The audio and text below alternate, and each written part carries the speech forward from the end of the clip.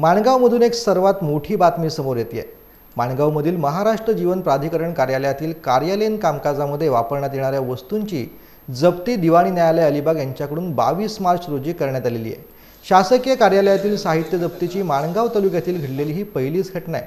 अलिबाग दिवाणी न्यायालयाने वसुलीसाठी कार्यकारी अलिबाग येथील दिवाणी न्यायाधीश वरिष्ठ स्तर यांनी शेतकऱ्यांच्या वाढीव नुकसानीची रक्कम वसुलीसाठी कार्यकारी अभियंता महाराष्ट्र जीवन प्राधिकरण विभाग माणगाव यांच्या कार्यालयीन सामान जप्त करण्याचे आदेश दिले होते.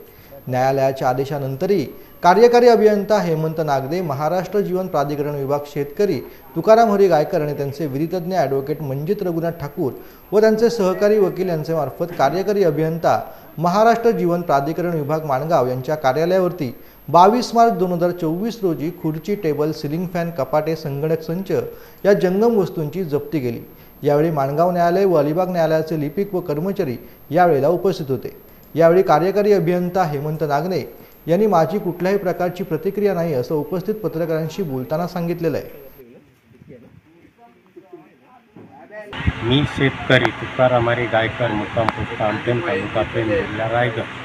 माझी जमीन ही जलशुद्धीकरणासाठी संपादन केले होते.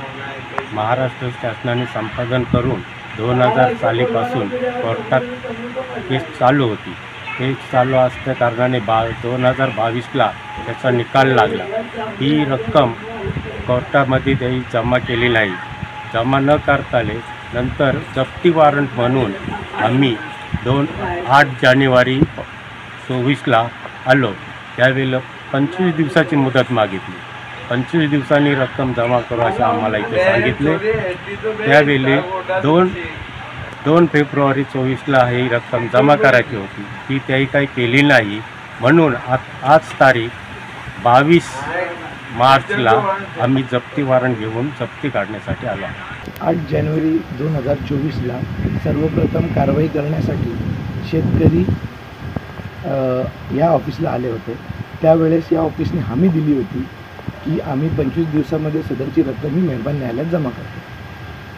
आठ जानेवारीनंतर दोन फेब्रुवारीला सदरची पंचवीस दिवसाची मुदत संपली होती. पण त्यावर त्यांनी कोणतीच कारवाई केली नाही नाही कोणती रक्कम जमा केली नाही काही केली.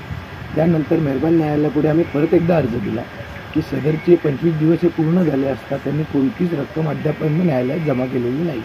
त्या अनुषंगाने मेहरबान कोर्टाने मेहरबान दिवाणी न्यायाधीश वरिष्ठ अलिबाग यांनी आदेश पारित केले की सदरचे हे वॉरंट हे पुन्हा काढण्यात येईल. त्याप्रमाणे आज रोजी सदरची वॉरंटची बजावणी आज या ऑफिसवरती झालेली आहे.